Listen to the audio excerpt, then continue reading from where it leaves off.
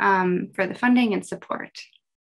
My name is Emily, and here today we have Lauren and Kelsey, and together we make up the Biofeedback Collective. So I just want to acknowledge the land on which we're meeting today, Treaty 6 territory, home to numerous First Nations, including the Cree, Ojibwe, Saulteaux, Dene, Dakota, and the Métis Nation. Biofeedback recognizes the current and long history of colonialism in Canada and our own positionality in different places and spaces within this context. We would like to express gratitude for everyone for attending today and engaging with the community project. Great. So this session will explore visual storytelling from the areas of painting, drawing, and comic books with influences from theater and theater design. Um, everybody should have received our pre-session material. It was sent out today. If not, Audra will take us through it during her presentation, but you will receive a piece of artwork to study. At the beginning of our session, we're asking everyone if they're comfortable to explain the story that they read from this artwork and why. During the session, we will discuss elements in visual storytelling, such as colors and symbolism, gesture and expression, as well as discussing visual storytelling as a means of human communication and connection. Post session, attendees will receive a story, and using knowledge learned from today's session, you are invited to create an illustration of the story. The artworks are optionally shared with the group upon completion. Um, Audra poses two prompts to us today. So keep these in mind as we go through her session. So study a piece of art, write down the story you read from it, and think of a story illustrated in one picture. They kind of play on each other, and I'm excited to hear how Audra um, goes deeper into them. Um, so just before we uh, hand it off to Audra, um, we just wanted to provide a little bit of background about her. Um, Audra is an award winning interdisciplinary artist from Saskatoon. She started drawing when she could pick up a crayon and obtained a BFA in studio art with great distinction from the University of Saskatchewan in 2013.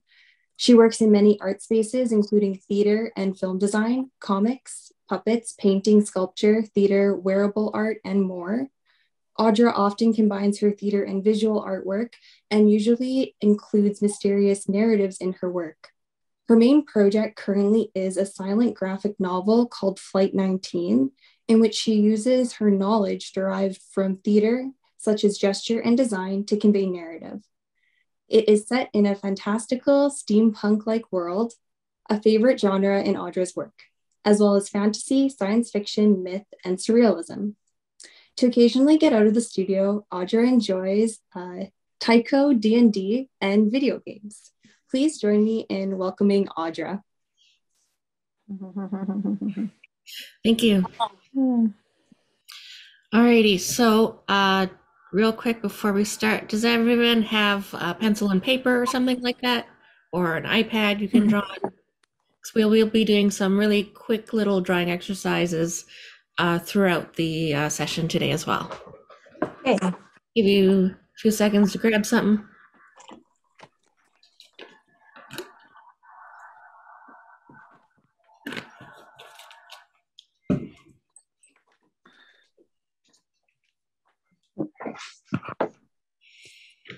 Alrighty, so uh, some of you may have got this picture already this morning, hopefully uh, or you may have seen me post it on social media on my uh, invitations to this.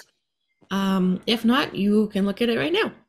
Uh, this is a painting uh, that I did, I don't know, maybe 2012, something like that. Um, so I just like to uh, start off with what do you guys read from this and why?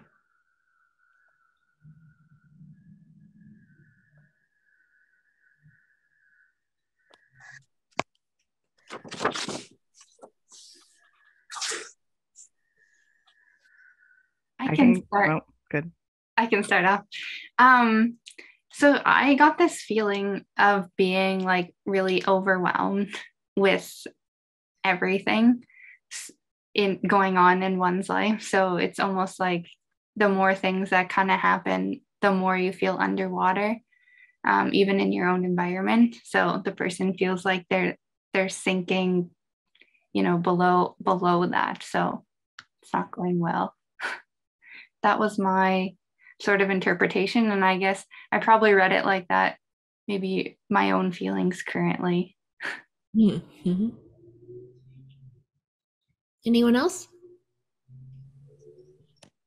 I'm happy. I'm happy to go.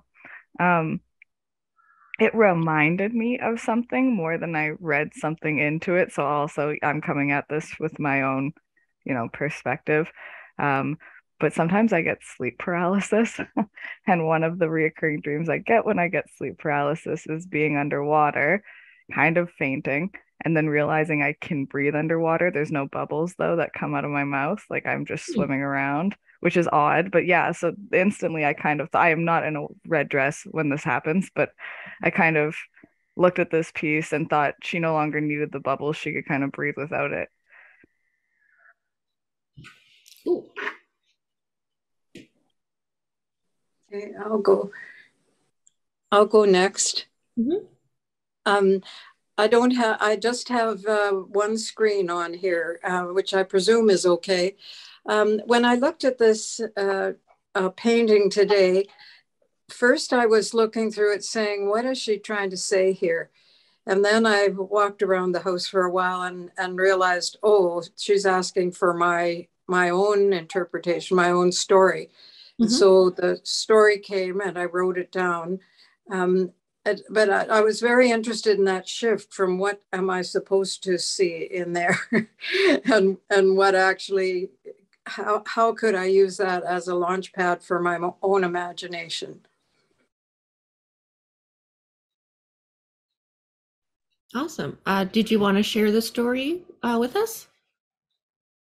It's Barbara, but I'll share the story. Okay. Okay, go ahead, Barbara. Okay. Yeah. This is all that's left of the studio those artists tried to get going way back when someone got a hold of some sick green paint, so all the walls are still sick green. The reverse drop in, in the bucket is still falling from the ceiling. A logo for the name of the collective drops in the bucket. What you'll notice most is the figment of that Dipsy girl, the one who painted fairies all the time. And much smaller are two would-be artists who never were. One is still about to get into a coffin the other waiting for something to come to the window, an inspiration, a whack of skills, or maybe a load of hard work. In fact, he has two others watching for him too, one at each end. Each of these has escaped from her own promising career by focusing on his sorry plight. Such a bad habit to lose focus as an artist. Awesome. Thank you, Barbara.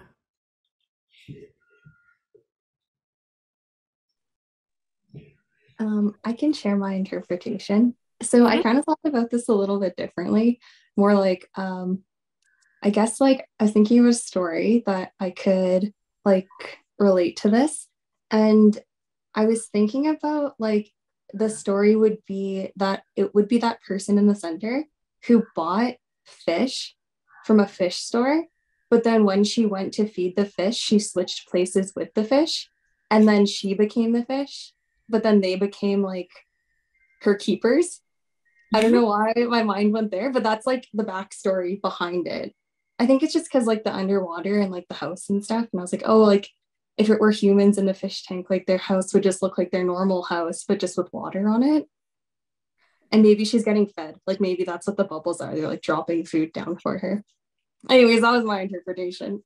All right, thank you.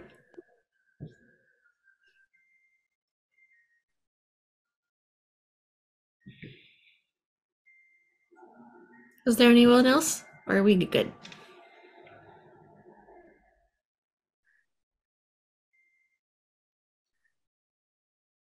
Okay, I take that as we're done sharing.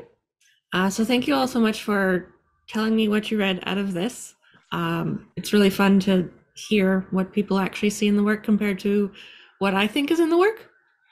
Um, so this to me when I was painting it is more uh I think of it as the House of the Dead. And uh the greenish uh figures in robes kind of like the dead, the zombies, um, compared to the vibrant um uh woman who's like splashing down and sinking in, but she's uh, still in a dancer sort of pose and um, still quite alive. Um, so obviously the color palette told you all that it was underwater as well as some of the strokes on the top. Um, it also included in here uh, two little paintings, uh, one which has the flowers with some of the petals dropping, um, which is sort of a memento mori thing um, related to it being House of the Dead, and the ship in the other uh, little painting inside uh, representative of Journey. Uh, so those are some sort of little things that I think about when I'm doing the painting. Um, so we're going to go ahead and uh, learn about uh, some of the other things that I sort of consider when doing visual storytelling. Um, like like the girls said, I um, I do comics as well, and I have a background in theater, so um, a lot of my knowledge comes from that. But I'm trying to aim it for you guys today more in the sort of painting illustration kind of world. Um, but feel free to ask me questions about the other things too if you like. Uh, we're going to be looking at colors and symbolism, uh, gesture and expression, and storytelling as a means of human connection and communication. So to get started here, uh, with colors and symbolism, uh, they can vary across cultures, uh, so be aware that your work may be read differently by some people. Uh, some examples I have of this, um, as you can see in the photos here, uh, for brides and widows, uh, the colors that they don um, change by culture. In our sort of Western world, we've got brides in white for purity and widows in black for mourning. Uh, but out on the other side of the world, in uh, places like India and other Eastern cultures, uh, they put the brides in red because it's a very celebratory color and, uh, you know, passion and love and that kind of thing. And then the widows wear white instead. So, depending on who's looking at it, they may uh, view it differently. Um, the other example, just being red as a color as a whole, uh, I mentioned that it could be um, like passion or love. Um, but in other places like um, China, it could be for like luck or communism. So again, there's some cultural differences. Um, I was wondering if anyone else happened to think of any off the top of their head that they are aware of.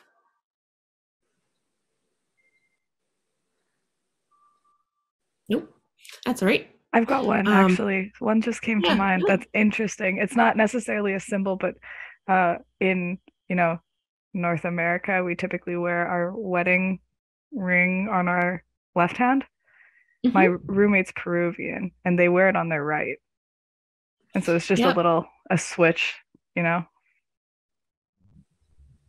Yeah, I think that's uh, similar in uh, some Slavic countries as well. My dad had worn his on the right hand as well.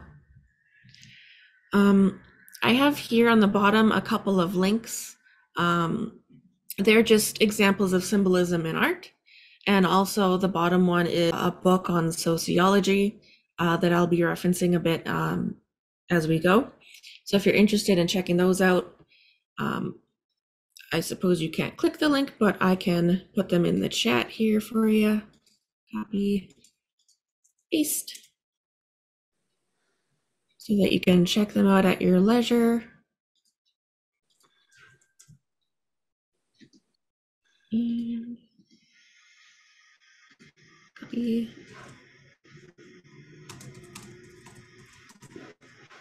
Here we go. So for colors, uh, individual colors have been given meanings by either like a natural response of how we feel when we look at them, um, or by different cultural traditions. Uh, so here are some commonly accepted color associations. Um, can you all read this or no? Should I try to zoom? It's okay. Yeah. So blue, we've got things like tranquility, cleanliness, freedom, uh, cold, sadness. Uh, red, we have things like love, warmth, romance, uh, luck, aggression. Uh, orange is like happiness, creativity, youth. Uh, can also be danger or ruin. Uh, yellow, we've got cheerfulness, optimism, uh, brightness. Also can be things like cowardice or illness or madness. Um,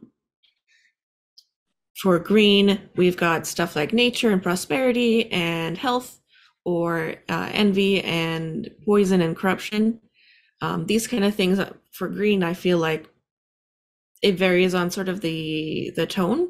Like for example, a more acidic green, I feel is more towards the you know creepy vibes and maybe poisonous compared to a, a more of a foresty green being more of that um, growth and prosperity. Uh, pink, we've got stuff like uh, romantic, innocent, playful, uh, immature, uh, materialistic. Uh, purple, which is my favorite color, if you haven't noticed, uh, is stuff like luxury, mystery, spirituality, dreams, illusion, deception. Um, I use purple a lot in my palettes as well, personally. Um, one, because it's my favorite color, and also it lends itself to that sort of mystery and magic that I often go for in my work. Um, so it works really well for that. Uh, black, we've got stuff like luxury, uh, sophistication, authority, um, mystery again, uh, but also loneliness, uh, hopelessness, and more sinister. Um, white, we have again uh, cleanliness, spirituality, innocence, um, also cold, isolation, emptiness.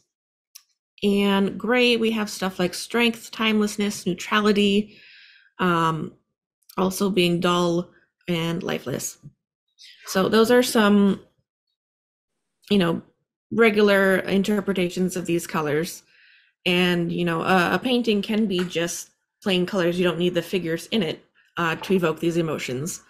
Um, but we're going to go further by using the colors to tell the stories. Um, so the color palettes, uh, when you combine different colors together, uh, they can convey different things like time of day, location, and mood, like how in the previous painting, we all knew it was underwater because it had that color palette. Um, so what do y'all think that these color palettes on the bottom uh, make you feel or represent? Starting with the far left. Small child's bedroom. Ooh. Yeah. My head went to circus. I'm really sorry. Yeah, it's quite a playful one. It's got a lot of bright colors, very high saturation. But the next one, Uncertainty. interesting. Why is that? Well, it looks like they're all trying to be a real color. They're not sure which color they they want to be. It's similar to the next one to it because they're kind of wishy-washy, undecided. Oh, I see. Okay. Any other takes on the second palette? I was getting like beach or something. Yeah, Vacation. Yeah, similar. that's the picture that accompanied this. um, cool. Uh, third one.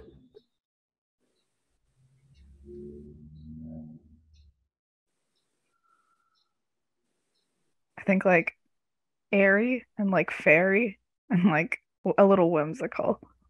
Mm-hmm. I get very like sterile, kind of like hospital health vibes. Mm. Because it's a little bit drained.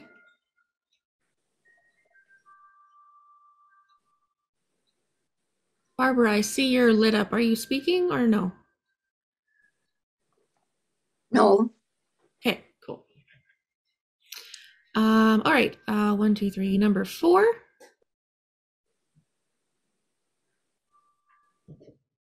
I should have numbered these.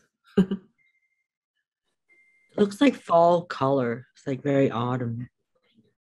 It's cool and it's warm at the same time. Hmm, I think of the forest. Interesting. Yeah, this this palette was actually pulled from underwater, so that's cool that you Oh, underwater. um that you've got forest and autumn. I wouldn't have thought of that. Uh, the fifth one.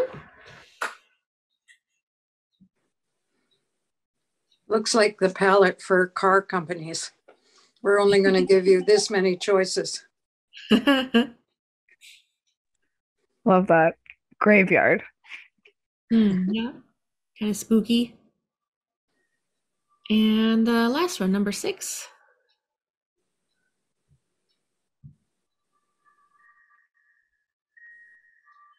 Night and day. Mm-hmm.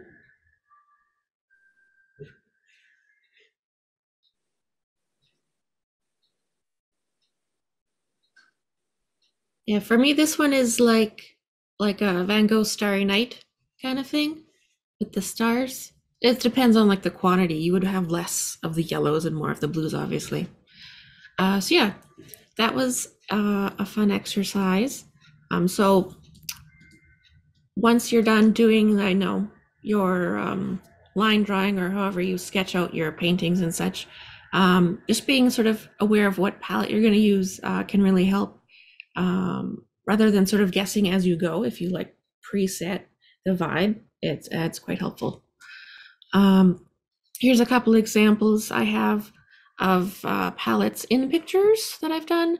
So we've got uh, just the gray, and that one's feeling pretty like aged and and um, desolate compared to the you know very bright and cheerful ones with the pinks and oranges.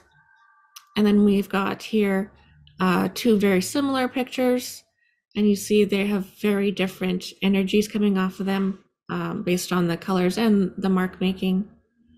And uh, one more quick example. This is the exact same picture three times, but with different color palettes.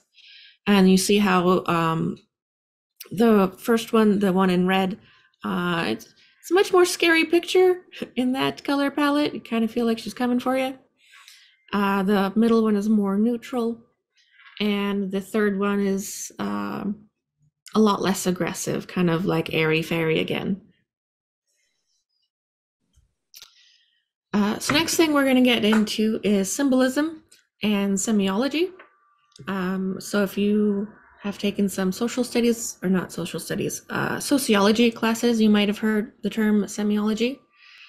Um, I use it kind of interchangeable with uh, symbolism. So in semiotics, there's a sign which is made up of a signifier and a signified. For example, uh, a sign could be the symbol of a heart and the constant of love.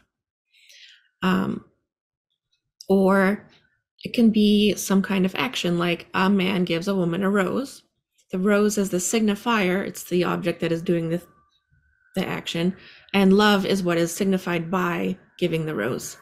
And um, these signs are based on shared code or convention um, that we think that roses stand for love, even though there's nothing that really says that in the nature of a rose, right? Uh, signs and conventions are culturally, sh- culturally shared and depend on the shared code. Therefore, sign systems only work between people who share the same code. Uh, so, example, BRB, we all know, we're all young enough here, we know that's be right back. But your grandma might not know any internet speak. And she'd be like, what? Um, similarly, uh, different languages, Sobaka, I know what that means. But unless any of you speak Ukrainian, you probably don't. It's a dog. Or uh, this symbol here. Anyone know what the symbol is? Anyone on the same code? I see a smile. It's uh, from Harry Potter. It's a Deathly Hallows symbol. Otherwise, to anyone else, it's just some random triangle with shapes. Um, some other people who were really into uh, uh, signs or the Victorians, they had like signs for everything. You had flowers can mean different things. Each different flower in a bundle that you give someone can send them a message because they all are aware of the code or their dress codes for different classes or times of day and stuff like that. Uh, so they were really into that. And we still do it today with our own clothing and all that kind of stuff.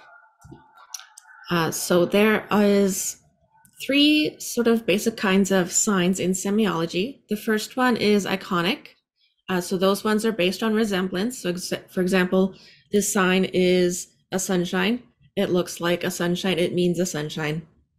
So it's really straightforward that way. Or on your computer, you might see there's a picture of a printer, and that's the one you click for when you want to print. So those are iconic signs. Indexical uh, signs are based on indication. So, for example, the turn signal on the car, when that's blinking, you know that that person is going to be turning that way. Or if there's a smoke, then you are aware that that means that there's also fire there. So that's what indexical refers to. And symbolic, which is kind of the most fun one, I think, is uh, arbitrary. It's based on context, culture, or convention. So the dollar sign looks nothing like money, but it means money for some reason. Or the pound sign or the yen sign, you know, these all mean the different currencies, even though that's not what currencies look like. Like, is there even a dollar sign on a dollar bill? I don't know. Um, so, yeah, when we're reading different signs, um, we've got two different levels of reading them there's denotation and connotation. So, denotation is just the sur- surface observation. So, looking at this American flag, like, okay, the denotation is there's a blue square with a bunch of white stars in it, and there's red and white stripes going horizontally. That's it. Uh, connotation is what this whole image actually means, um, what it makes you feel, the values and ideas you associate it or feel with it. So, uh, in the American flag, like the stars, uh, all represent these states, and they can also represent dreams. They're all boxed together in this one space instead of all over the place, so therefore it's unity. Uh, stuff like this.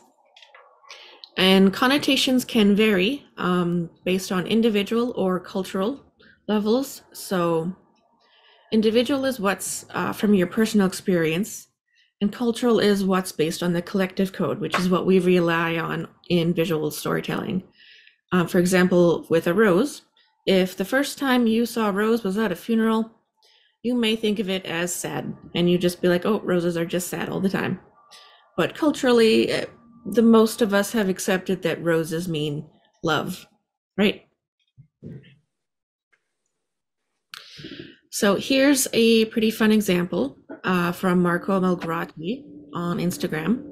Even without the title Politicians' Lies, uh, we can read a lot from this image and kind of come to that conclusion by ourselves, right? So we're looking at this man, he's wearing a suit. So that tells us he's some kind of businessman or politician. He's more well off. He's dressed like this, all sharp. He's got a microphone. So we know he's taking, giving a speech. He's got his hand to his chest. Yeah. That gesture makes him seem like he's trying to be sincere. Uh, but the shadow behind him uh, looks like he's got a long nose. And the code that we're meant to know is the story of Pinocchio, and that, you know, when he's got a long nose, he's lying. So politicians lie. So this is sort of things we can look into when reading it. And for stuff like this, we can do it pretty automatically um, when it's, you know, really clearly laid out like this uh, compared to some other work where um, I like to make things a little more vague so that people can come up with a variety of stories. Um, yeah, so that's that. Uh, so looking more at symbolism, a lot of them tend to be illustrative. Um, so here we've got a row of eight different symbols. So can we just go through quickly, what do these symbols mean?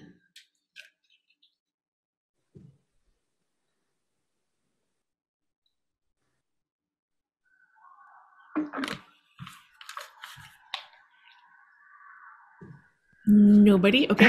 no, it's fine. I can start. Uh, we got a yin yang. Are you looking for the meaning of it? 'Cause I don't know. A hundred percent. The good and the bad, the bad and the good. Balance. I'm not sure. A woman. Mm-hmm. A person in a wheelchair. Mm-hmm. What's the C? Copyright. What's? Copyright. Yeah, it's a copyright symbol. Oh. Old fashioned phone. Good idea. Recycle. Stop whatever it is you're doing. yes. Or All right, so those are ones that we've all learned. Um, and these ones are pretty illustrative, like, you know, it's a telephone, so you know that there's a telephone there. The recycling thing is sort of symbolic in that, you know, you're making a cycle. Um, whereas some of the other ones, like the uh, copyright, that one's just based on like abbreviation. And the no symbol is something that we've just kind of learned of when we cross something out. Um, I also notice I put those ones in color. So what happens when we change the colors? Does that change how you feel about these symbols and how you would interpret them? So this telephone now, um, The red one now becomes like an emergency phone or something like that. yep.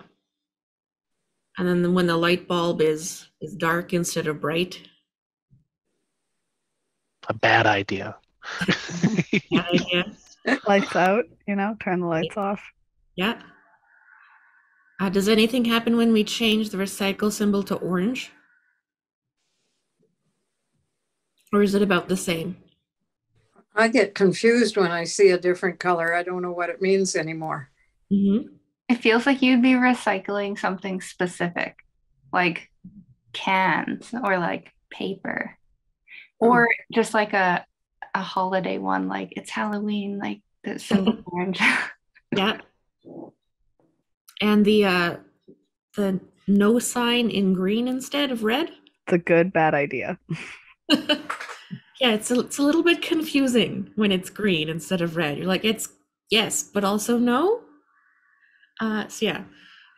Uh, and then on the bottom here, I've got some more sort of abstract symbols. Uh, so, uh, what do you read from these squiggly lines with colors? There's like a cliff coming up. Watch out for the cliff. All right.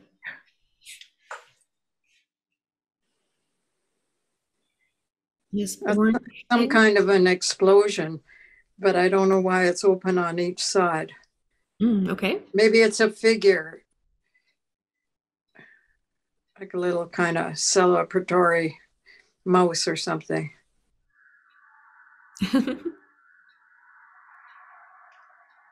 David says it's all Avatar The Last Airbender. I was trying really hard to not do that. Thank you.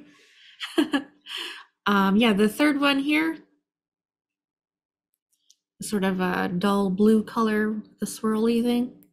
It's like look out for raindrops. I don't know. All right. And the final one, the scratchy red one. Fireworks. All right.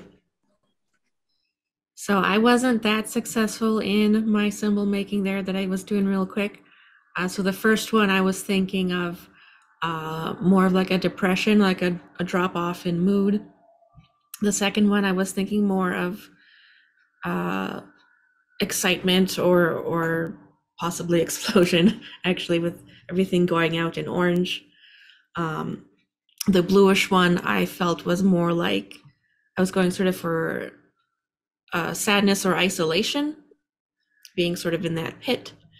And the last one as just general anger or violence.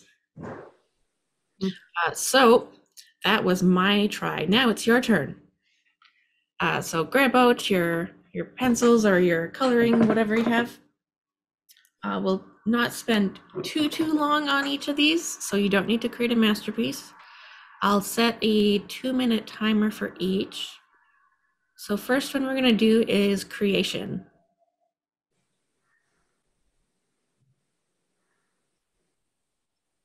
How does timers work?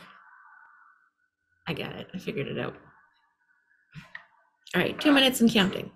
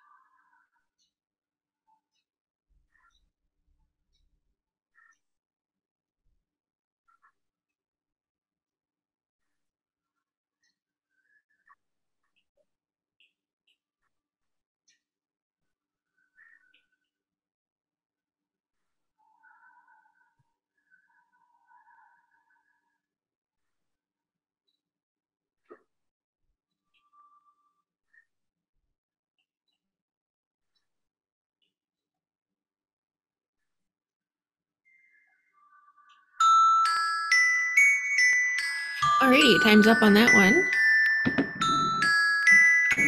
Stop. How do I stop it? Okay, there we go. All right. Let's see what we've got.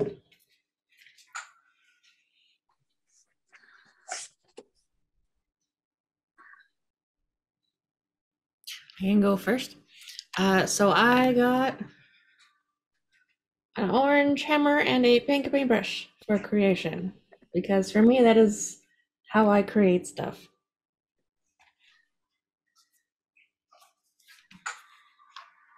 Okay, I can share mine for creation. Um, okay, so right. I just drew a pencil drawing and it looks like this because I feel like normally like an idea starts here. So it's like kind of like small and then it really snowballs and then you end up on the other side of all of your thoughts and creation. Awesome. Thank you. Anyone else want to share? Yeah, I can share. I did. oh, where's my camera? Three little leaves. Because I think, Hmm. you know, planting something, growing something, we've just been talking about it so much as a collective that creation is kind of starting with planting an idea. Nice. Okay, I'll share. I uh, I got a book first because that's my art practice is making books, and th- then I thought, well, that can't be a symbol. That so how can I simplify that? And no matter what I did with that image, I still didn't know how to draw a hand with a pen in it.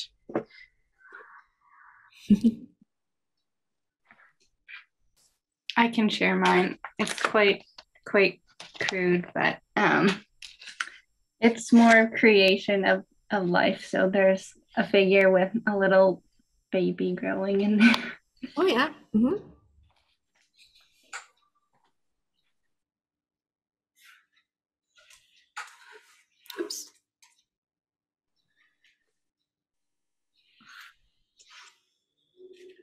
Anyone else want to share, or should we move on? All right, let's try loneliness. Two minutes and counting.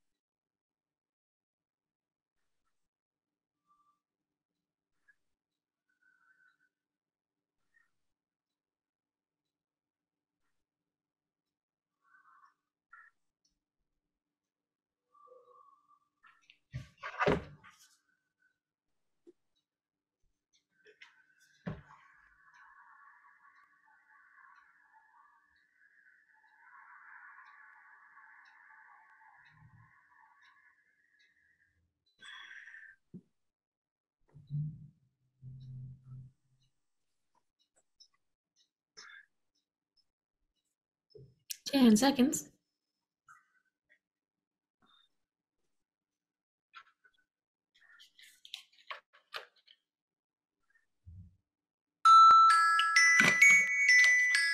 Alrighty, time's up.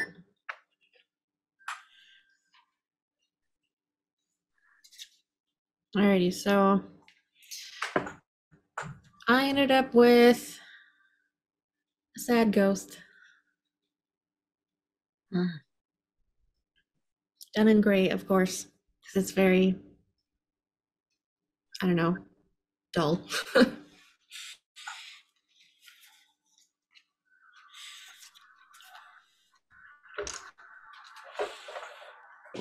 I got three three people, but the other, Mhm. you know, one of them is separated.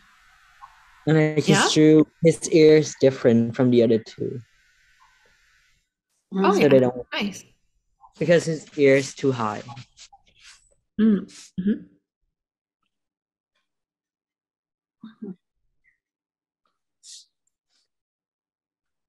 I have someone looking out a window, tearful, looking down at all the action and people going out on outside the window. Oh, yeah. Um, I made a more abstract one. It's like um sort of like winds. Like these are like all the things together, and then there's just one by itself and it's empty, and then all the other ones are full. So that's like the lonely one. Nice. Mine is also, I don't know if abs yeah, abstract is probably the word. I panicked because I couldn't think of anything.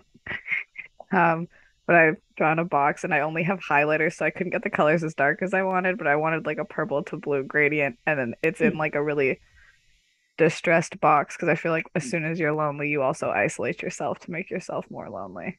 Mm, mhm. Um, mine's sort of similar to Lauren's, but less creative looking.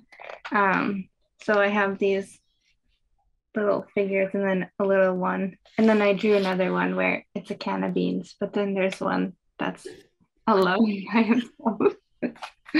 Excellent. So there seemed to be a little bit of consensus on that one. There's three of you had pretty similar ones.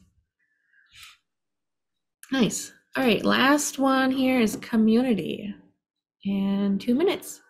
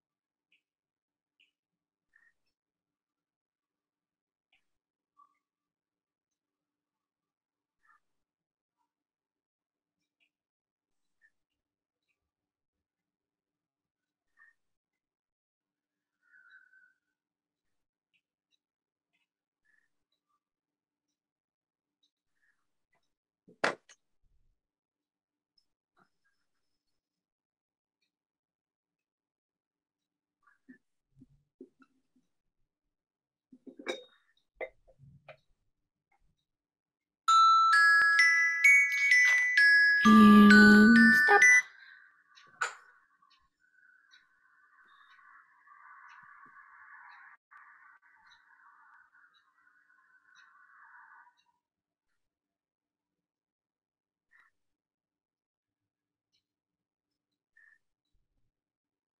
I'm just changing some settings on mine.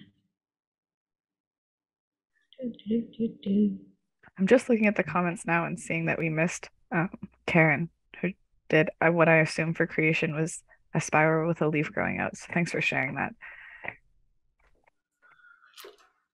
Oh, there we go. Thank you, Karen.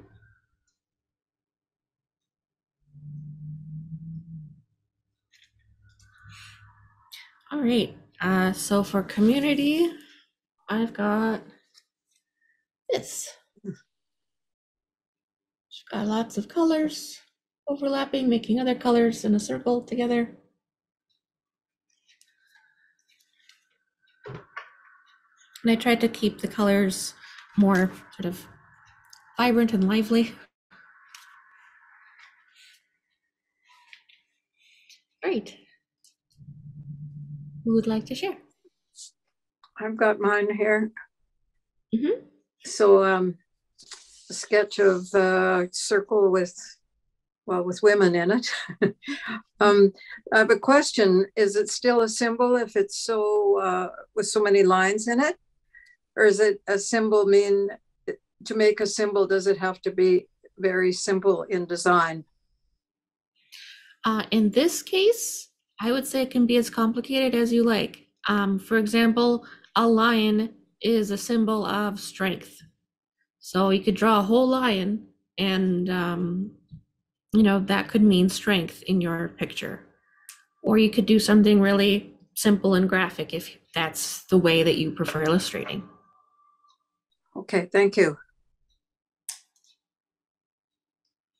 I'm gonna go next because mine's cheesy and rushed.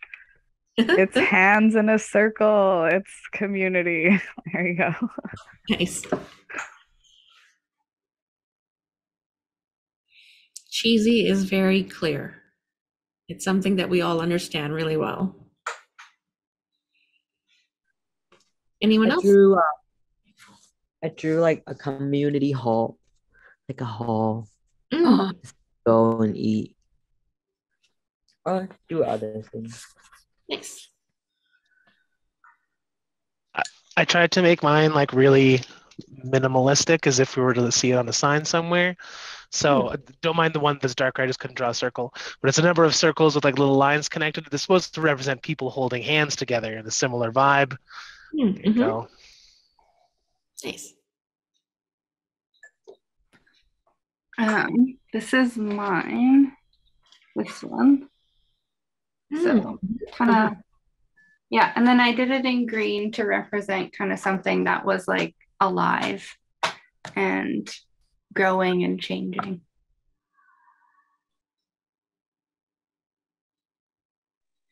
Um, okay, I'll show you guys mine. So it's like um kind of looks like a flight path actually, but it's supposed to be like um underground like root systems. but Oh. it didn't really come off that way. nice. All right, you're only given two minutes.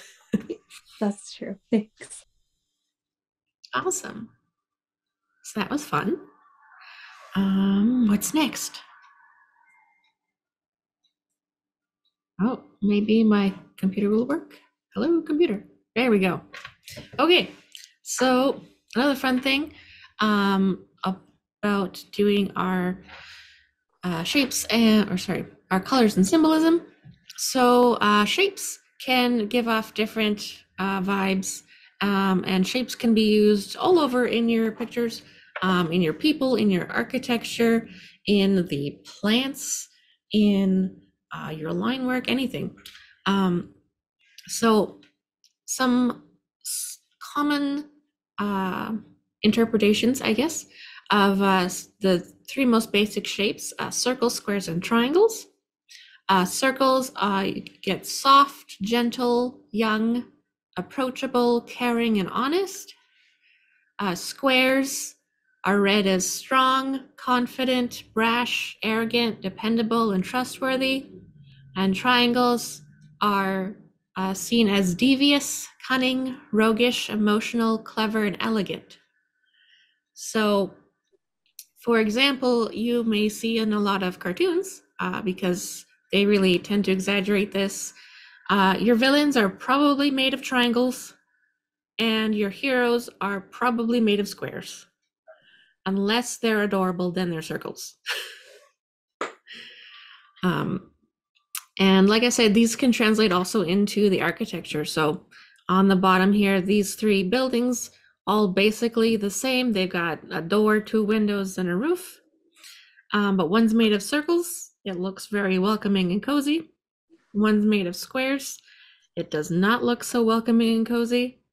And the third one, made of triangles, is a little bit more mysterious. You're not quite sure what's happening there. Um, yeah. Uh, and then these two faces on the bottom, uh, made of circles and triangles. Uh, these are the protagonist and antagonist from my comic. Can anyone guess which is which based on the shapes?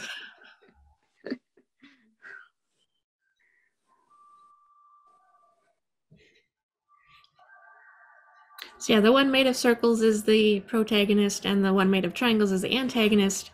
And the fun thing about that is I didn't mean to do that. This was just sort of an automatic thing that, you know, we've learned growing up that this is sort of what these shapes um, make us feel. And so just by accident, when I was creating these characters, I happened to make them out of circles and triangles. Uh, the style of your piece and the mark making can make a difference too. Um, so if they're soft or hard, sketchy, airy, um, one of you showed uh, your illustration of a box for loneliness and you deliberately made this sort of sketchy line for the box. So that was an intentional choice. Um, you can see down the side here these uh, three rainbow haired girls. Uh, they're all the same character, but drawn in different styles and you can see how it tran- uh, it um, transforms how you're reading the character. Um, and then these landscapes, again, the same landscape twice over, but the first one is very soft. Every all the gradients are very smooth. All the lines are very smooth. There's no sharp edges anywhere. So it's like kind of nice and peaceful and whatnot. But the bottom one is very more sketchy. The shading is got a lot more lines in it. It's harder edges. And so it's uh, not so peaceful. It's kind of more mysterious or foreboding. And then another thing about style is modality. Uh, so modality is um, sort of a, a scale of how realistic it looks. And uh, realism tends to us to feel more serious or true uh, compared to cartoonier styles, which may feel more whimsical and lighthearted, and these are considered low modality. So, for example, on the bottom, it's figures and everything, but they're very stylized. Whereas uh, the top one, it's uh, pretty photorealistic.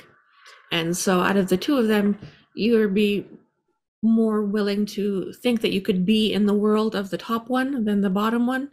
You don't expect to go outside and find uh, people who are white stick figures with extra long limbs and whatnot and no faces.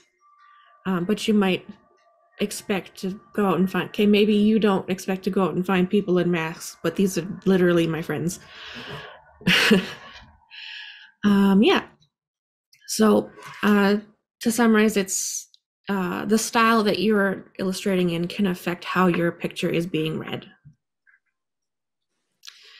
Um, another thing when uh, composing your entire picture, um, and these are things that I've learned from theater design, uh, and they're also relevant in film design. Uh, we've got lighting, so you there's a difference in if you choose to do a soft lighting from behind, like in the first picture, versus a harsh top light that obscures half the face in shadow, like in the second picture. So the first one is uh, more soft and welcoming, while the one with the darker and sharper shadows is a lot more ominous. Um, you know, both of them have these spiky fingers, but you really don't want to go and talk to the second one, right? um, similarly, uh, we've got uh, camera angle, framing, cropping, and focus.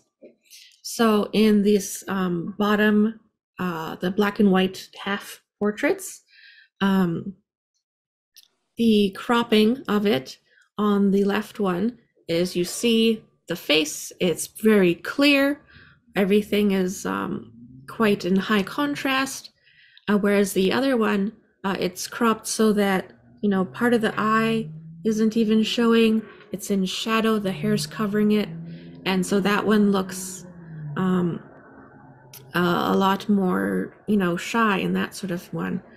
And uh, these are actually from the same photo. Um, it's a self portrait I did in school.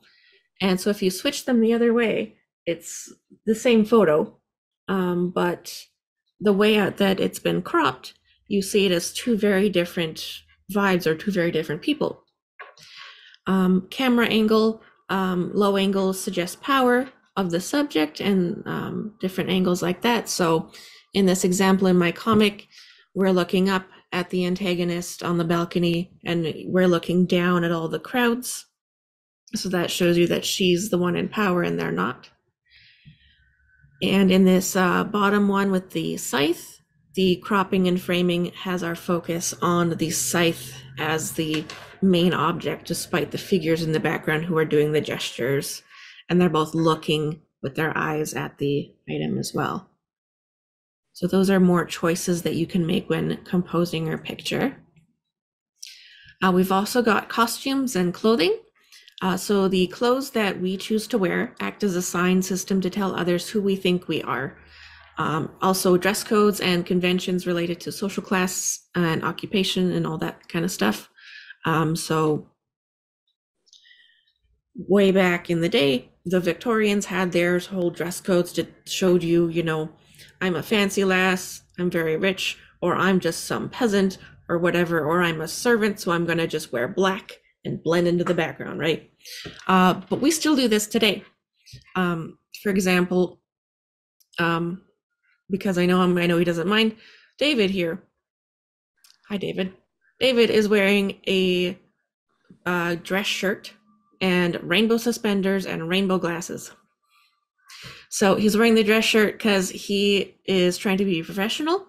It's part of a businessy thing, but he's also showing off that he is very fun. He's very uh, energetic person. So he's got all these rainbows, and you know this is what he is showing us to the world. Um, compared, for example, to my outfit here, I've got um, this dark purple, which is again my favorite. I've got sort of these billowy lace sleeves because I want to be all like I don't know, romantic or whimsical sort of thing as opposed to just like a regular t-shirt that I might wear on a normal day. Uh, so these are things that I'm telling to you visually about myself of who I want to be. And um, in that uh, previous picture with the people in masks, that's from my BFA show where we did a whole masquerade where people just showed up in whatever costumes they wanted to and whatever masks they wanted to. And it was about capturing who they wanted to present themselves as in that moment.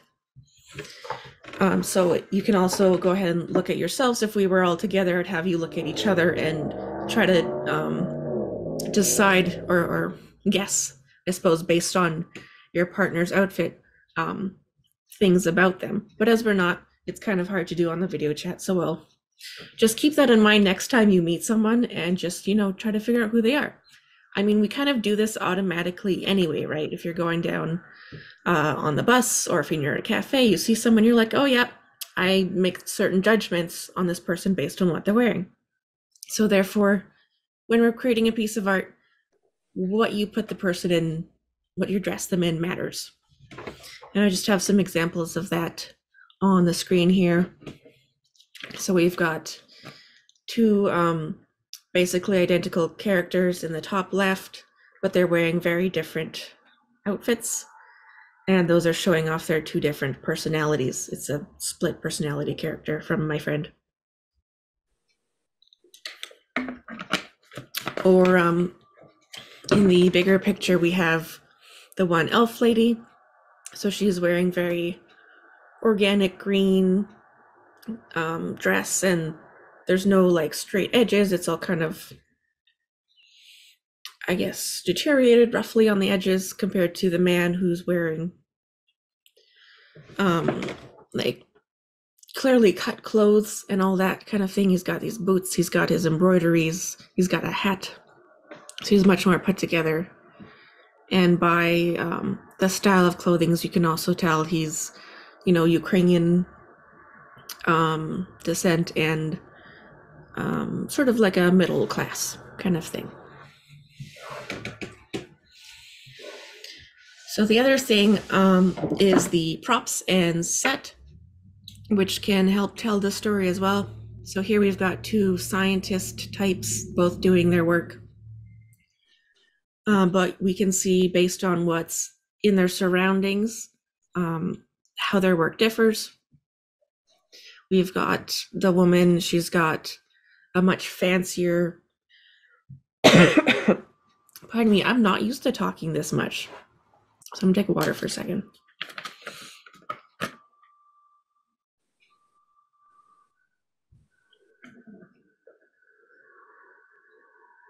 Alrighty. So yeah, she has a much fancier uh, background. So she's clearly a higher class compared to his uh, dank, dark laboratory. and we can also see that they're both doing uh, mechanical and biological related research based on all the eyeballs and screws and whatnot on their desks.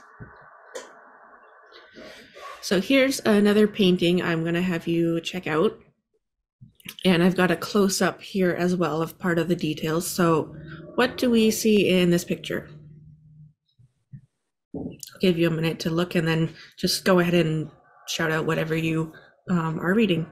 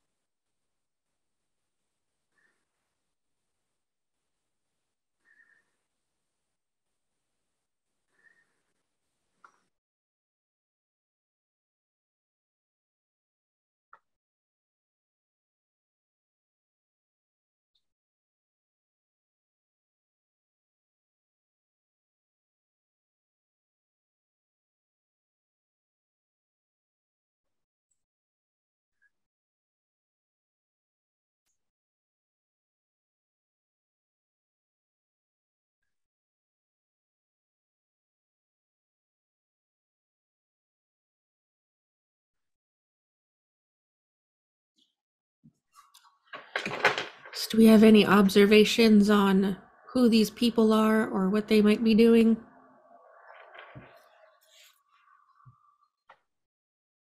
Well, I I'm uh, fascinated with the uh, woman on the left at the larger image on the right. It seems to me she's got herself so sophisticated and stiff that she can't see anything. Um, I'm curious about the bear at her elbow. Um, oh, and th- there's another figure above that as well. Mm-hmm. I'll let someone else see what they what they see. Say what they see.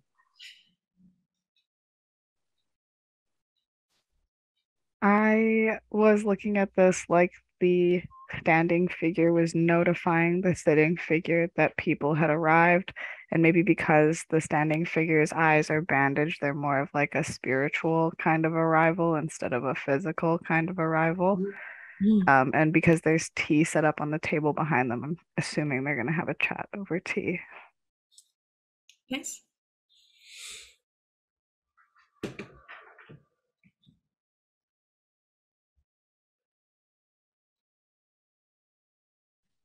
Um, I sort of thought that that green part in the background behind the curtains was this like kind of portal for this strange figure on the ground. And the only way that the lady, the Victorian lady, can like communicate is by like not seeing. Like it's this like lack of sight that initiates a sort of communication between the two figures.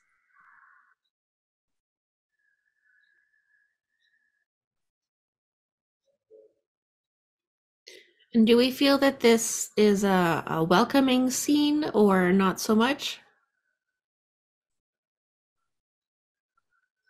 What kind of vibes are we getting off of it?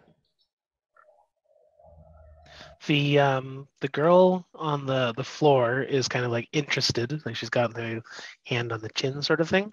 Um, and then the the woman standing, um, I wouldn't say that she's like unwelcoming, but there's definitely like the hands crossed in front is not like oh not not welcoming with open arms, right? It's it's like slightly reserved, but not completely blocked off like a like a crossed arm would be. Mhm.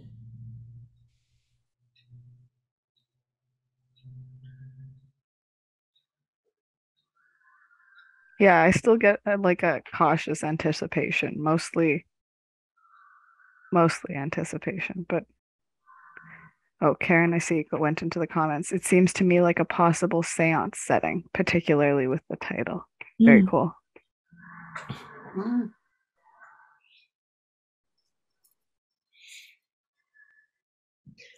Yeah, so it is something a little bit spooky. Um, so the, the my choice was to use the purple and acidic green to sort of make it uh, feel mysterious and unsettling. um, Barbara had mentioned the. Uh, she said bear. It was supposed to be a lion head roaring, and the uh, figure reflected in the mirror. So, um, lions kind of being either strength or regality, and this one's aggressive, being a roaring lion. And uh, the figure coming in, um, I've kind of left it up to you guys who is saying they're here. If it's the person walking in who's saying they're here they found these two women, or that the women have found that the visitor has arrived. and then, yeah, you guys read how the one character is um, much more prim and all that, whereas the other one is just kind of more chill, sitting on the floor. Uh, yes, so that was a pretty good read. What do I have next here? Oh, yeah. So we started talking about this. Uh, you guys were already starting to read their gestures. So that's actually our next topic is gesture and expression. So uh, you consider the physicality of the figures in your artwork and how their gestures and expressions can aid in storytelling. On TV and in real life, uh, gestures and expressions tend to be uh, more subtle, uh, but on stage, which is uh, my background, and in comics and cartoons, which is again my background, um, they're usually more exaggerated. Uh, in your painting and illustration, it's up to you. Uh, but perf- personally, I prefer the more dynamic gestures um, because I find them more visually appealing. They're prettier, they're more interesting to look at, and uh, they're less likely to be missed by today's audience because people look at a picture for 10 seconds nowadays. Um, so some examples we've got in the the left here, you know, she's obviously sad by the sad face. The top one, she's got surprise. She's got her open arms at the bottom in a sort of form of surrender, plus uh, the prayer sort of thing. So she's accepting this uh, supposed death as she's being attacked by a scythe wielding mermaid. Um, that's that's the one fun thing in in my comic is it's really annoying to draw uh, people with four arms all the time because that's a lot of arms to figure out. But it's also really good for doing complicated gestures without words because you can do say two things at once. uh, so facial expressions um, we're pretty familiar with. We do them all the time. My face not as expressive um, as some of my friends are. um, but some things to consider is uh, the squash and stretch. So depending on what um, expression you're going for, different parts of the face are going to squash or stretch. So for example, for the happy face, um, the mouth, I'm going to look ridiculous doing this, but the mouth is uh, really big, right? And it's squishing the cheeks here, and that's the cheeks are squishing the eyes from below, right? Whereas the sad, it's pulling down that way, it's stretching this way. You can be stretching these um, lower cheek, whatever. I'm not an anatomist, um, or um, even more clearly on the angry. Ah, so we're getting this stretch and squish there. It's really squishing in towards the middle. We're surprised everything is way more open and everything is stretching out. Even the eyeballs are stretching out. So here's just some examples of uh, different um, facial expressions. We've got despondency, laughter, hate, indifference, uh, impatience, and coy. Um, and then these last four I don't have labeled, so have a guess. What's uh, this first one beside hate? Sad. Mm-hmm. Anguish. Yeah. Anguish, yep. Yeah, I kind of thought despair. Yeah, so she's like a beyond sad. Like this woman is hurt. Uh, the man beside her? Suspicious. Mm, hmm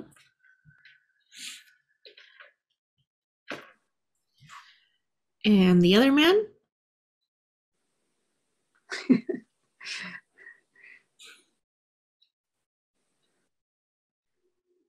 Confused. Yep.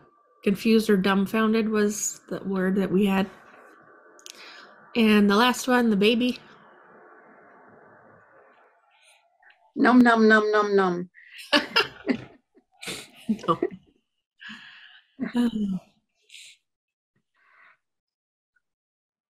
Yeah, it's more of a, uh, a happy surprise, I suppose. Yeah. Uh, so next, we're gonna do another quick little exercise to do our own facial expressions. Uh, so let's give these three a try, and we'll do two minutes each again. We got curious.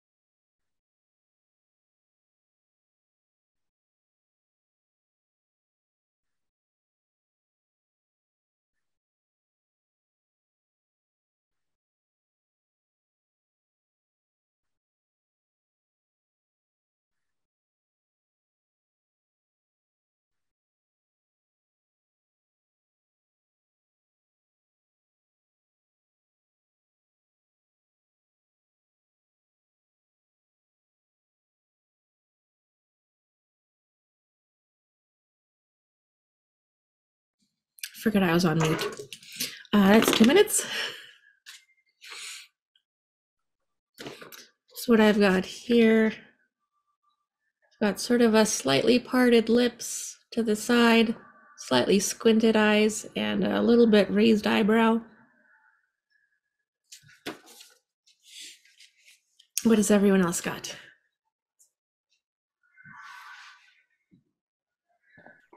Um, mine is this gentleman.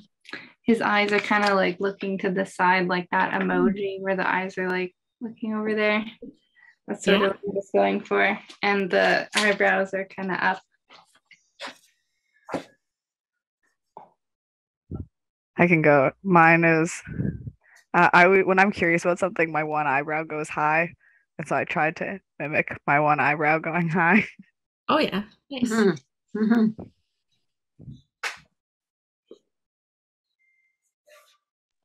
Um, I made one with one eyebrow high too. It's very simple. Nice. It's like um confused, but kind of like skeptical confused. Mm-hmm.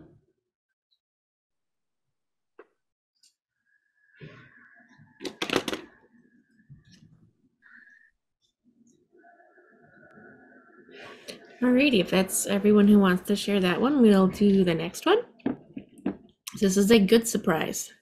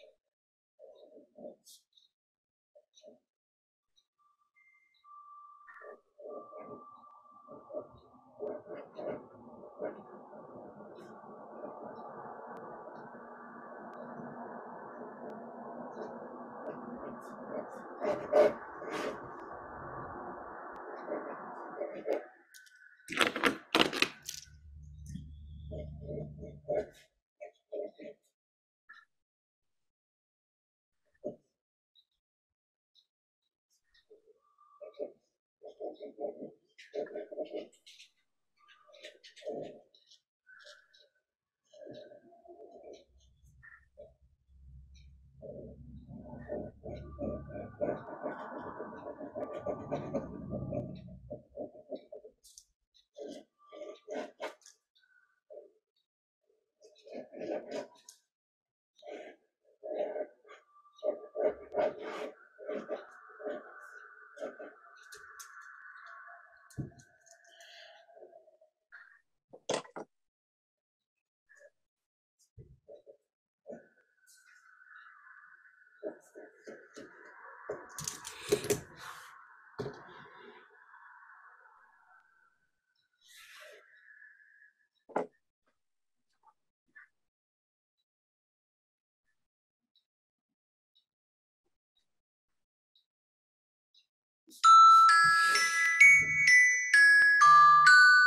And time.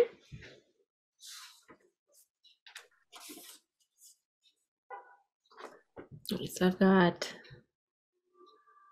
this happy person. Uh, so really wide eyes, and I decided to give them star for pupils or whatever. Uh, and just a really huge, slightly open grin.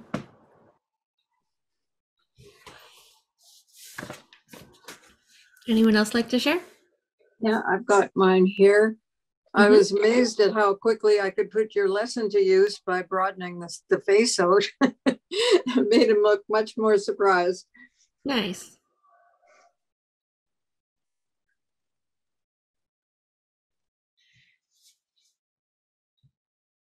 Anybody else?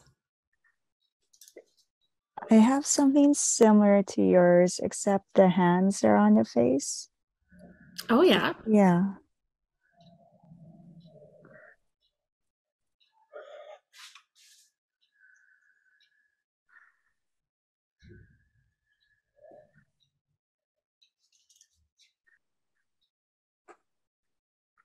This is mine. Mm-hmm. Like, oh my god. Um, this is mine. I put some teeth in it to try to make it look like happier. nice. It's end up being fangs.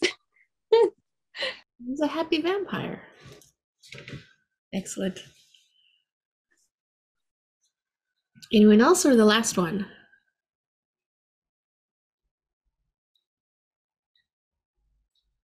All right, we'll go for the last one, bad surprise. So we'll see how this one differs from good surprise.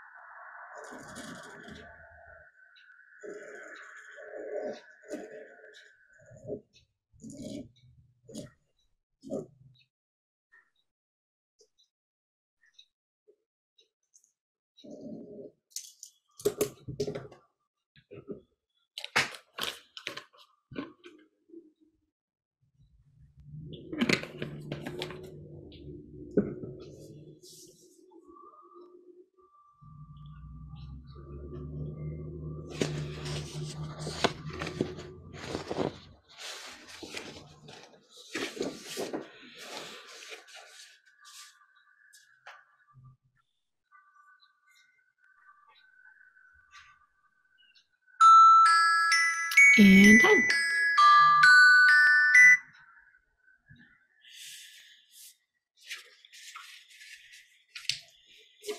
Alright, so here's my bad surprise beside the good surprise.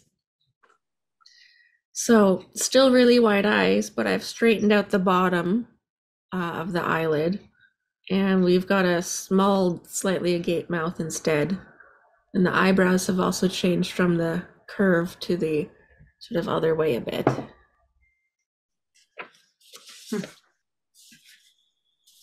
I think mine just looks mad now after seeing yours, but I will share. That's supposed to be a furrowed brow. Mhm. Yeah, a little bit more on the angry side. He's Yeah. not he's not pleased about the surprise. Um, I can show mine. Um, there. Oh yeah. Yeah, he is shocked. Mhm. I have a, a don't look surprise. And I, I thought, where would the other hand be? Probably at the stomach. Hmm, yeah. Yeah, that makes sense.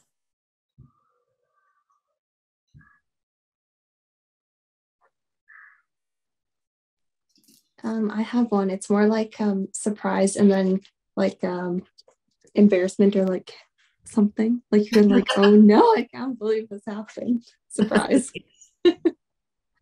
Cool.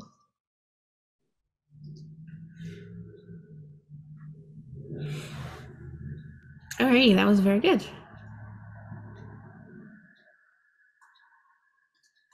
So, then we're gonna get into our gestures.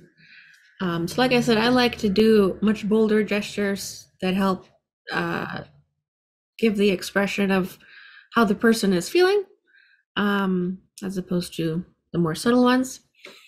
So here we've got um, two examples, uh, Ruin and, okay, the second card was called The Void, but he's getting his soul sucked out of him. So um, I went for sort of like a, an open but uh, more of a pained pose, I suppose. You know, it's not really a, one that you tend to do naturally in an open mouth, uh, whereas Ruin is uh, a lot like crouching down and uh, being broken.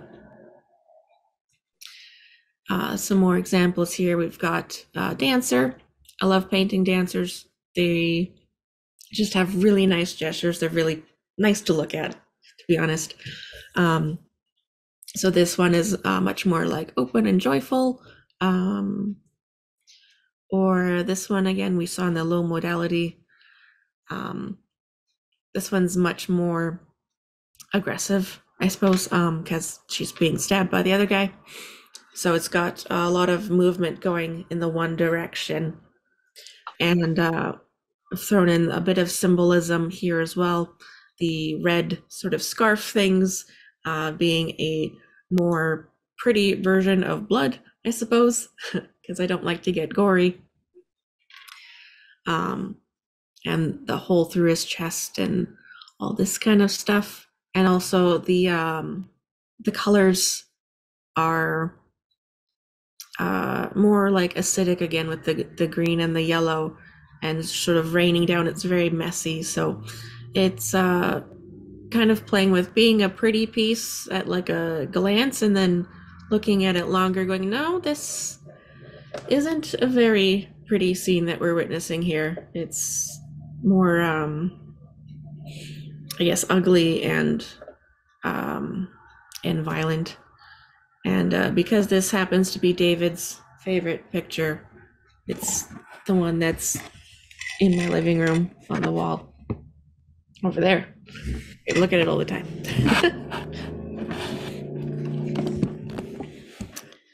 and then here we've got some more gesture examples. So this one's from my comic book.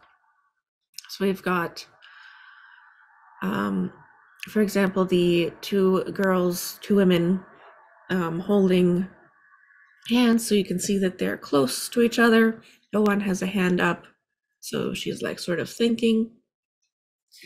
In the bottom left panel, we have a gesture for, you know, strength, while the other one is shaking her hands uh, in disagreement. No, no, I don't want this. And again, the facial expressions are showing one thinks its strength is good, and the other says no, and her face is also saying no at the same time. And uh, in the last panel, uh, again with the forearms being convenient for saying several things at once you know gesturing at the girl and being like what? I don't understand. And also like the thinking sort of gesture. Um, and then up here we have a closed in uh, gesture um, for someone who is you know probably hurt.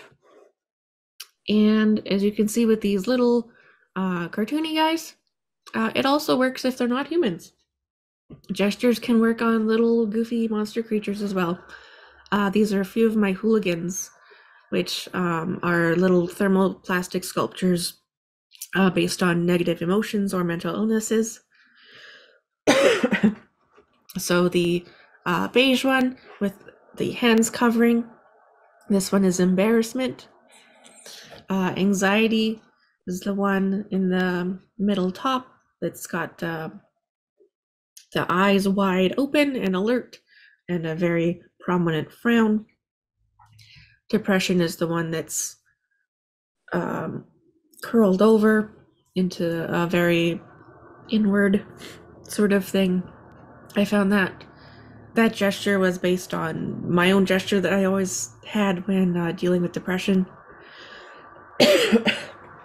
and the last one, uh, lethargy on the floor just splat. And his nice big ears also going splat. uh, here we're combining a few different uh, techniques.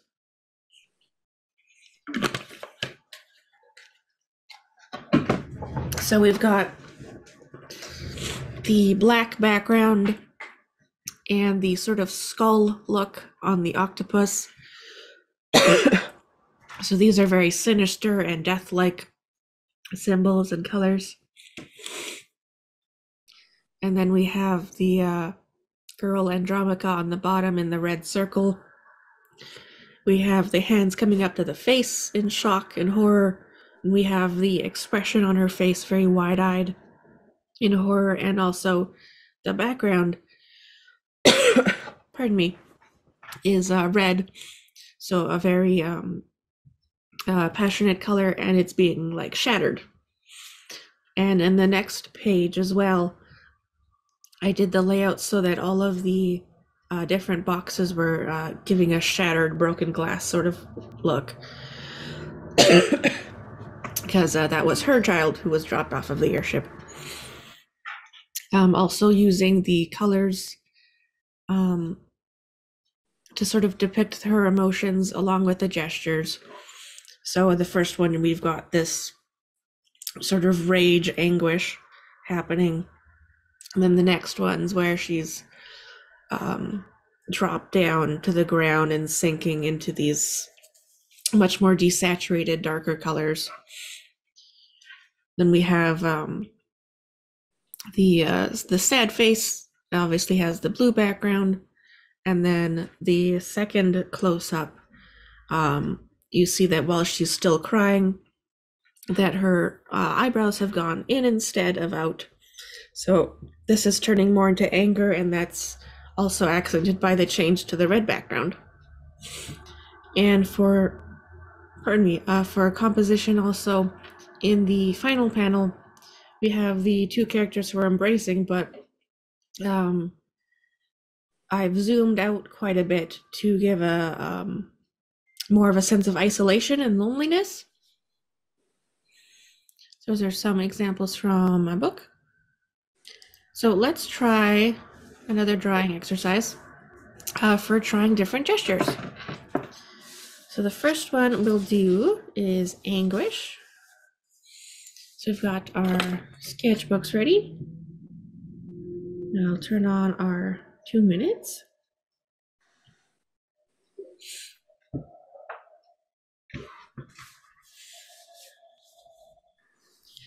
So you can choose whether you want to draw the expression on the face or not. Um, I'd say for this exercise, completely cool to just skip it. Show me in the body itself how you're expressing anguish.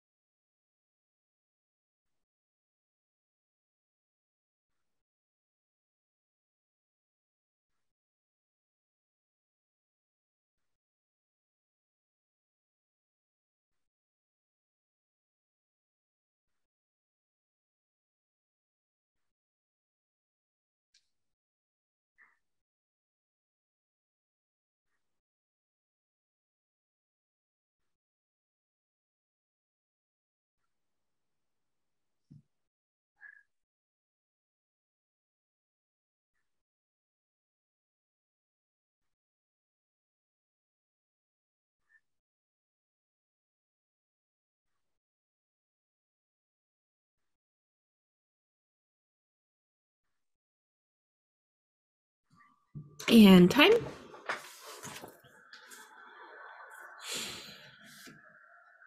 These quick drawings are getting harder as you're having to draw more things, hey? it's okay, stick figures are acceptable, which is pretty much what I did. So you already saw my anguish in the example on the previous page. This is just a more simplified version.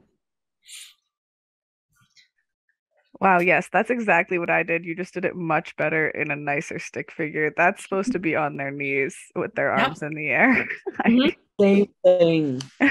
Yeah. I did something similar. It's like um crouched down, like you know, Mm, yep. Yeah. So I think that um, the anguish that the three of us did is a little bit more uh,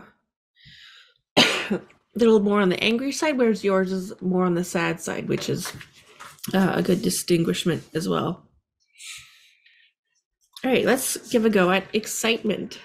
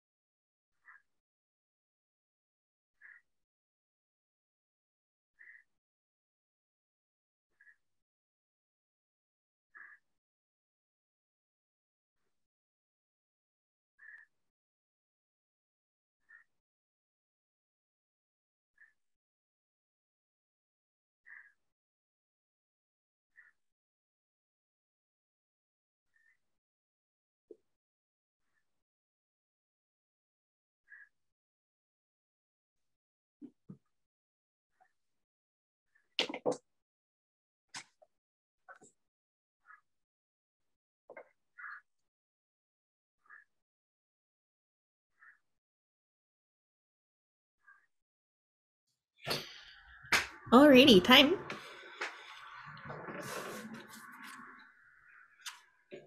So here's what I've got for excitement. I'm basically running about, hands up in the air and face tilted up. It's a high energy. Okay. And I have a I have a similar one until I put the face in and all of a sudden now she's running in horror. Oops. Oops.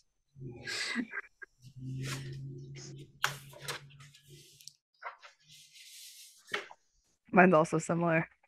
I mean, one leg kicked back because that's excitement. And the same thing, I think. Oh, nice. Kind of jumping. Uh huh. Yeah. Mine's kind of similar. It's like supposed to be like if you do it, it's quick or whatever. Like, yeah. Nice. Very fun. All right, last one is anxiety. And two minutes.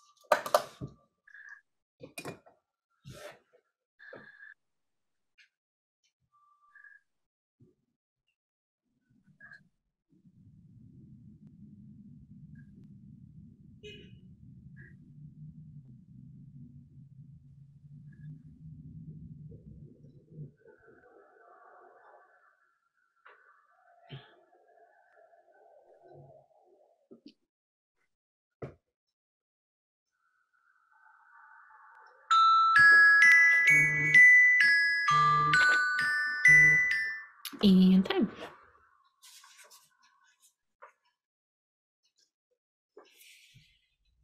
So I've got here pretty closed in, sort of a protective with the arms crossed and a bit shaky.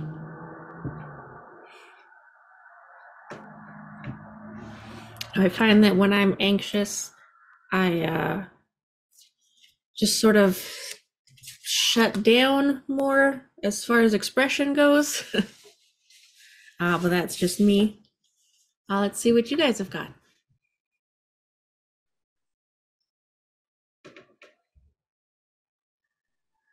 I also got arm cross. Mm-hmm.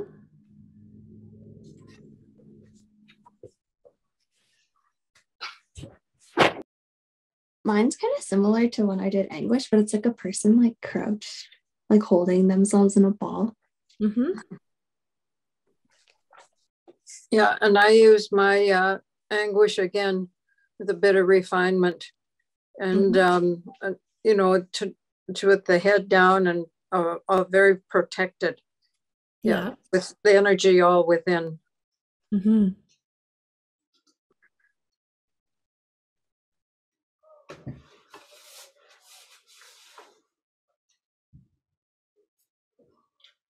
Alrighty, good work, everyone.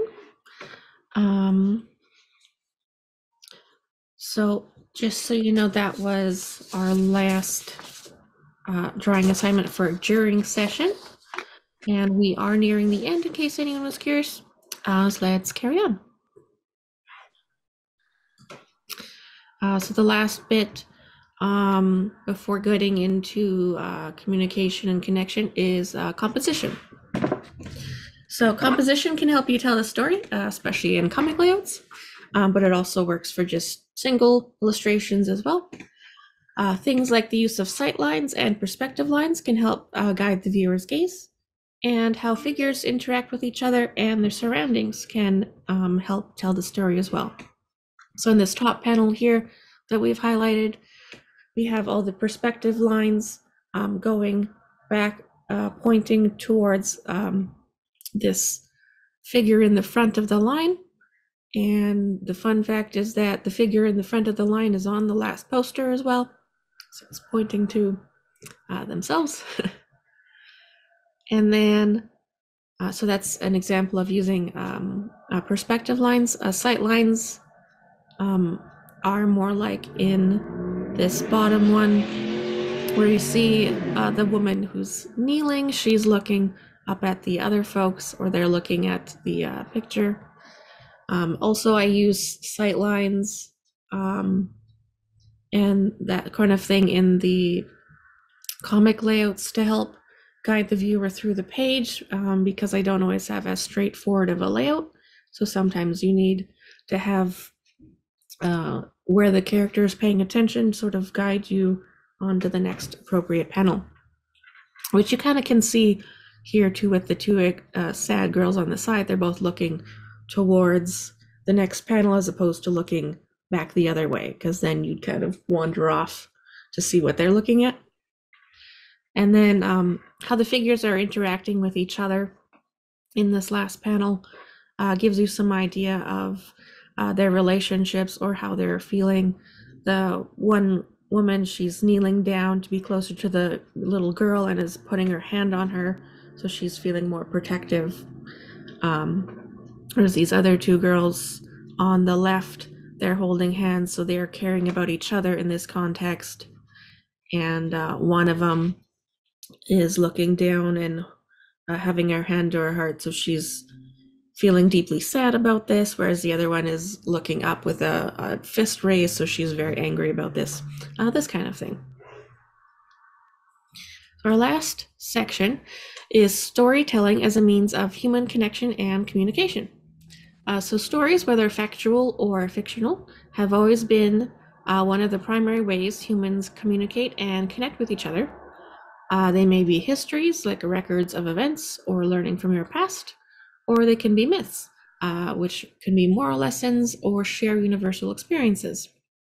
Uh, so, for example, in this other comic I do for Maureen Haddock, uh, there's stories about her husband as a kid in the 50s, and um, they always end in these little "What did you learn?" things. So they're all moral lessons, and that's what her storytelling is based around, and um, it's what we can use in our visual storytelling as well.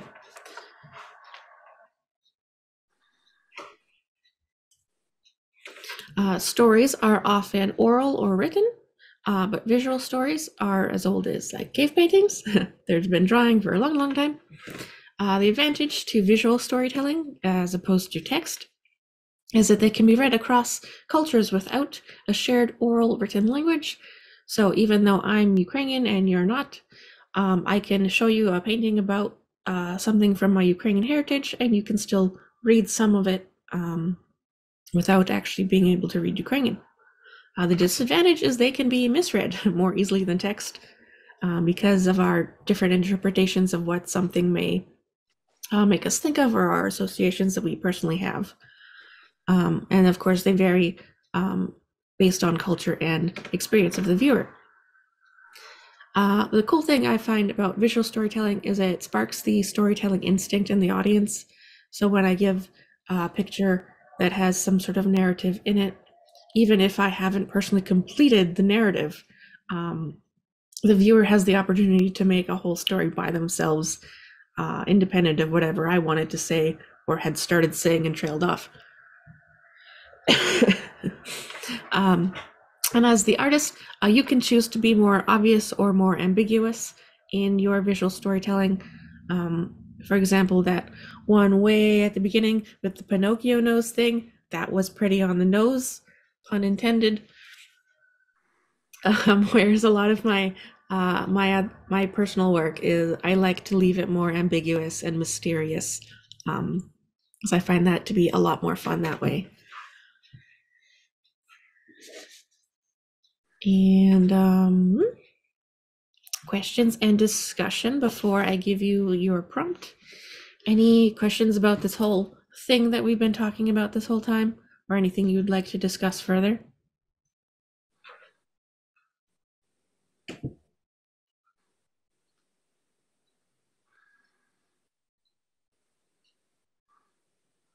I have one question. I don't want to take up too much time because I know we're kind of capping off at our our time for this session, but I just want to know what uh, inspired you to do the uh, purely animated um, booklet and not have any text in it, and I'm just really curious about that.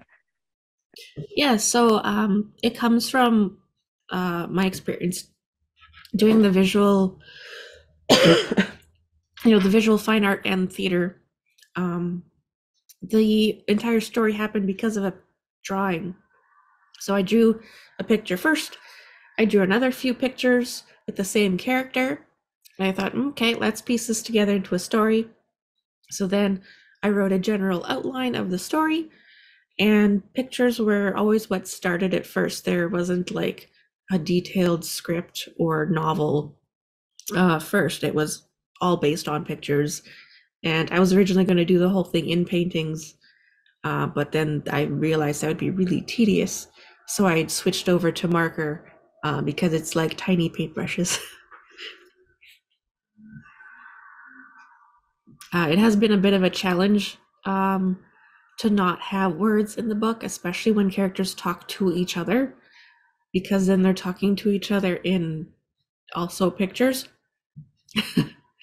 Um, but it, has been a pretty fun challenge, and uh, I've enjoyed it, and I look forward to hearing what people read out of what I'm putting down.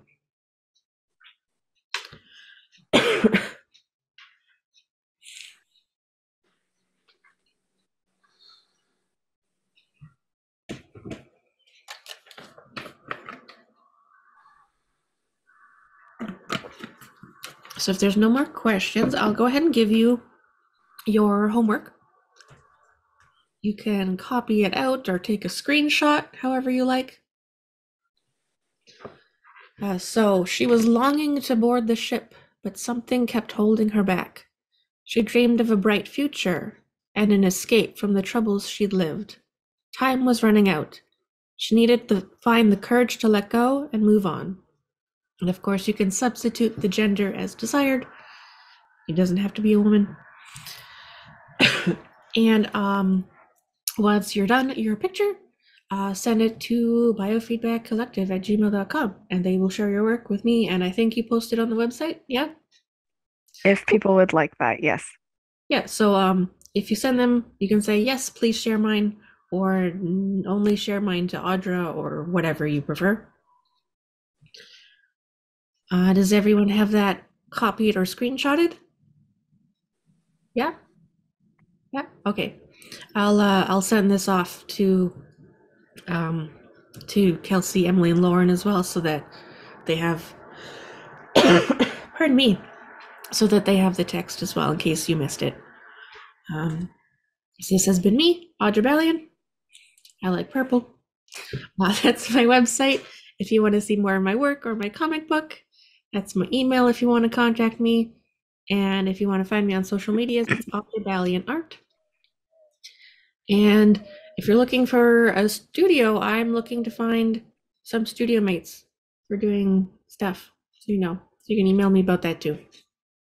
And uh, thanks so much to uh, the biofeedback folks for having me. It's been super.